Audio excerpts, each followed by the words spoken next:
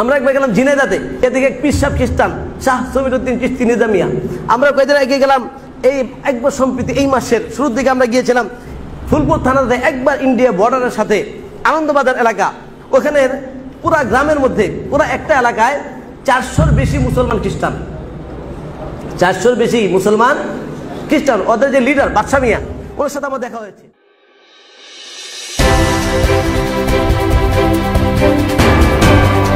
আসসালামু আলাইকুম। দর্শক, যারা ইসলামের দাওয়াতি কাজে জড়িত, তাদেরকে বেছে বেছে টার্গেট করা হচ্ছে। একের পর এক গুম করা হচ্ছে, কাউকে তথাকথিত জঙ্গি সাজিয়ে গ্রেপ্তার দেখানো হচ্ছে, কাউকে আবার চিরতরে গুম করে দেওয়া হচ্ছে।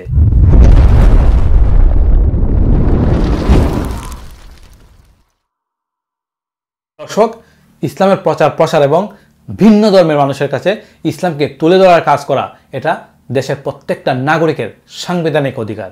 এই দেশের যে কোনো নাগরিক তার ধর্ম, প্রচার, প্রসারের দাওয়াতি কাজ করতে পারবে। এটাই সংবিধানে লেখা আছে। দর্শক, যে অধিকার সংবিধান আমাকে দিয়েছে, সেই অধিকারটা কাদের ইশারায় কেড়ে নিচ্ছে এই অবৈধ সরকার? দর্শক, লক্ষ্য করে দেখা যায়, গত কিছুদিন ধরে বাংলাদেশের দৃশ্য আরও ভয়াবহ হয়ে উঠেছে। জামাতের সকল কর্মকাণ্ড বন্ধ, তারপরও জামাতের নেতাদেরকে গ্রেফতার করা হলো। দর্শক, দুদিন আগে সাতক্ষীরায় কোরআনের তালিম থেকে পঞ্চাশ ঊর্ধ্ব মহিলাদেরকে গ্রেপ্তার করেছে পুলিশ। এই পঞ্চাশ ঊর্ধ্ব বয়সী মা বোনেরাও নাকি নাশকতার পরিকল্পনা করেছিলেন। দর্শক, জানতে ইচ্ছে করে এই পুলিশগুলোর ভেতর সামান্য মনুষ্যত্ব কি নাই? তাদের কি একবারের জন্য বুক কাঁপে না এমন নির্লজ্জ মিথ্যা কথা বলতে? এরা কি কোনোদিনও মরবে না? দর্শক, এই পুলিশ লীগ নাশকতা করার পরিকল্পনার কি কি হাতিয়ার এই মা বোনদের কাছ থেকে উদ্ধার করেছিল? তারা উদ্ধার করেছে কিছু দৈনিক নামাজ, কোরআন, হাদিস পড়ার রিপোর্ট বই। দর্শক, বয়স্ক মা বোন নিজেদের দৈনিক আমলের রিপোর্ট রাখার বইগুলো সরকারের কাছে বেশ ষড়যন্ত্র বলে মনে হয়েছে। কিন্তু এই দেশের নর্তকীরা ঘরের ভেতর মদ, জোয়ার কারখানা বানিয়ে রাখে, তাদেরকে হাতে নাতে ধরেও ছেড়ে দেওয়া হয়। এই দেশের একচোকা বিচারকগণ নর্তকীদের কাছে কম ভিক্ষা চায়, কিন্তু সত্যিকারের মুসলিমদের উপর চলছে জুলুম, নির্যাতন, নিপীড়ন। এ কোন অভদ্র সমাজে আমরা বাস করছি? দর্শক, গতকাল মুফতি জুবাইর আহমদকে গুম করা হয়েছে এয়ারপোর্ট থেকে। তিনি কোনো রাজনীতি করেন না। তথাকথিত গোপন কোনো মিটিংও করেন নাই। শুধু বিনয়ের সুরে অন্যের নিকট ইসলামের সৌন্দর্য তুলে ধরেন। তবে তাকে কেন গুম করা হলো? তাও আবার বিমানবন্দর থেকে। কিছুদিন আগে বিমানবন্দর থেকে রাকিনকে গুম করা হলো। এর আগে তোহা আল্লামা মাহমুদুল হাসান গুনবিকে। দর্শক, আজ নিউজে দেখলাম তাবলিক থেকে এগারো জনকে বিভিন্ন মসজিদ থেকে গ্রেপ্তার করেছে অ্যান্টি টেরিজম ইউনিট। গ্রেপ্তারকৃত মধ্যবয়সী, গরিব শ্রেণির কিছু মানুষ। সাধারণত তাবলিক জামাতে যারা বেশি সময় প্রদান করেন, তাদেরকে গ্রেপ্তার করেছে। দর্শক এই ঘটনার পরে দেখা যাবে মসজিদে কোনো জামাত যেতেও ভয় পাবে। এদের পরিকল্পনা বেশ গোছানো। তারা একের পর এক ইসলামিক দায়ীদেরকে গুম করেছে, গ্রেপ্তার করছে।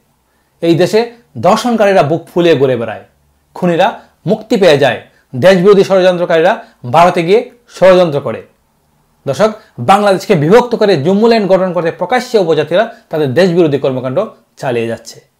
পার্বত্য উপজাতি জঙ্গিরা প্রকাশ্যে আধুনিক অস্ত্র নিয়ে চলাফেরা করছে। সেখানে প্রশাসনের কোনো মাথা ব্যথা নেই। আমাদের অ্যান্টি টেরোরিজম ভাইয়েরা এদেরকে চোখেও দেখে না।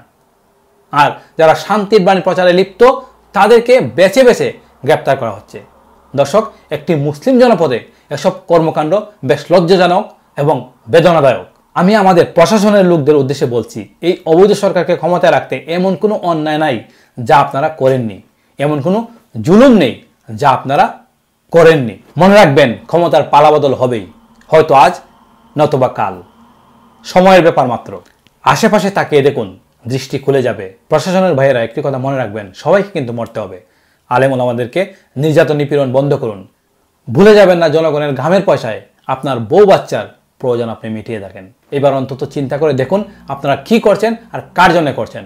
আবারও অনুরোধ করছি, বিশিষ্ট দায়ী মুফতি জুবাইর আহমদকে দ্রুত মুক্তি দিয়ে তার পরিবারের কাছে পৌঁছে দিন।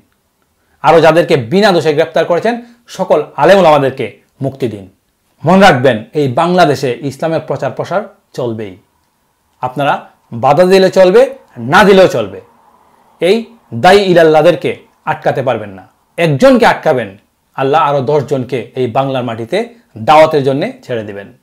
এই বাংলাদেশ ইসলামের জন্য উর্বর ভূমি। জুলুম নির্যাতন করে আর ঠেকাতে পারবেন না। প্রশাসনের ভাইরা যেটা পারবেন না, সেটা করে কোনো লাভ নেই।